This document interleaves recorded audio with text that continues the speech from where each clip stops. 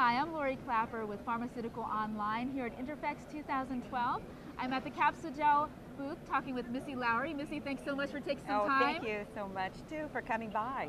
Now, one thing I'd like to start with are the problems uh, the end users are facing out in the industry for their everyday jobs.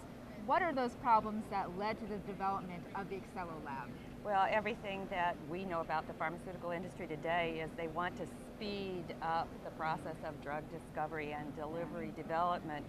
So all that we've worked on with our Xcelodose precision microdosing technology has been to create ways to make the decision of go or no go with a particular drug compound faster and more reliable.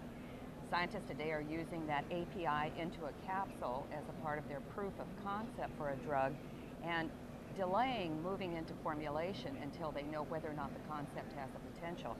Xcelodose itself is a fantastic technology for it, but many of our Xcelodose users wanted another smaller unit that they could use for powder characterization and also for microdosing into other dosage forms, such as a vial or a syringe or a test tube.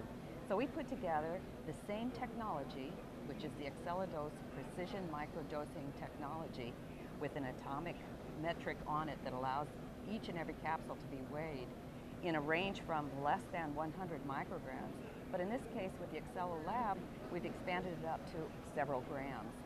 They're able to use this smaller unit in their laboratory, and then the information that they discover from the activities that they're engaged in there, they can take into their manufacturing facility where the larger Xcelodose sits. What are some of the applications for the Xcelolab? In this case, scientists usually want to determine if they got the right particular dosing head for their Xcelodose, and so they'll use the Xcelolab to characterize powder. They may also need to fill some vials, so it would be a powder into a vial application for a syringe later on, or into the syringe itself. Again, it allows you to go as low as a 100 microgram weight and have accuracy within 2% range, but on an individual item, one at a time. It's the, uh, let's put it this way, it's taking a very big piece of forward-thinking technology, but putting it into a small lab scale tool. Now, what uh, emerging markets are out there for this kind of technology?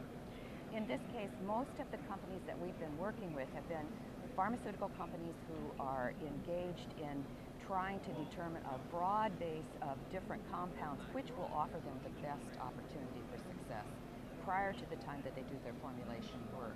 So large and small have been engaged in it, as well as contract research organizations and contract manufacturing organizations. thank you so much, Missy. It was You're so so nice welcome. to meet you. Thank you for coming by. And have a good show. Thank you.